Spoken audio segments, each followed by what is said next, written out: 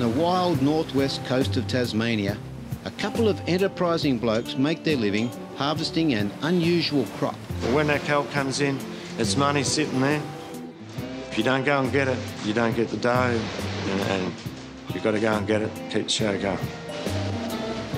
The product's only a waste product. It rots on the beach if it's not used. Colin came here 20 years ago as a surfer, and the waves were so good he decided to stay. But he needed to find a way to support his surfer lifestyle. I saw this bloke driving a funny looking truck into West Point one day, and he had kelp on the back. And I thought, yeah, we'll have a look and see what this bloke's doing. And it's gone from there.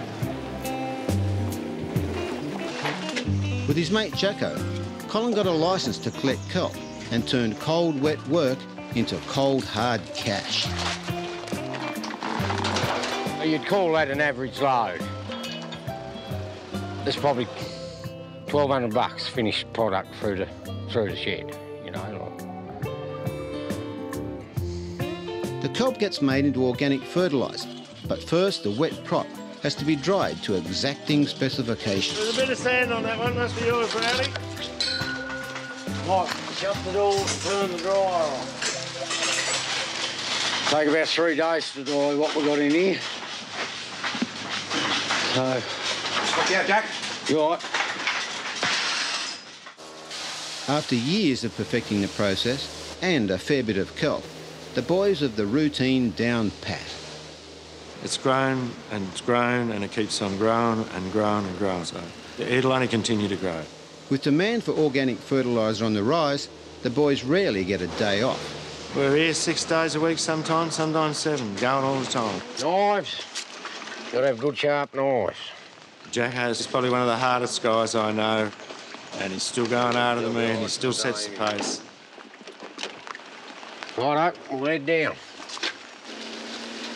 Every day, they scour the shoreline looking for a fresh dump of weed, but the whims of Mother Nature often confound the laws of logic. No, she's all old stuff.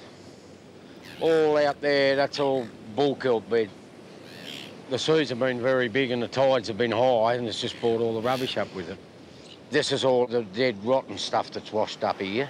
As the swell goes back, the fresh kelp will sit behind this.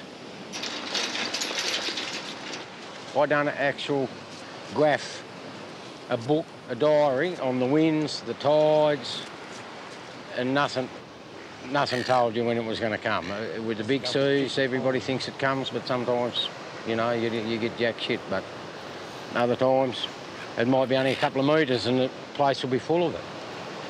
So you can't pick it. The kelp collectors aren't washed up yet, but they're looking at handing over the reins. Oh, I'm thinking about slowing down a bit. Me and my other offside of Cole, we're just about worn out.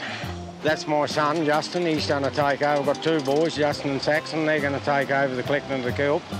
We've done the hard yards. Now we've got it set up nice and simple. And it's a bit more workplace friendly for the boys. They're quite capable of running it. Be nice just coming down, sweeping the floor at the shed and keeping an eye on them. Come for a trip with them. Bring the lunch box and have a bit of lunch and watch them do it. It's a good lifestyle.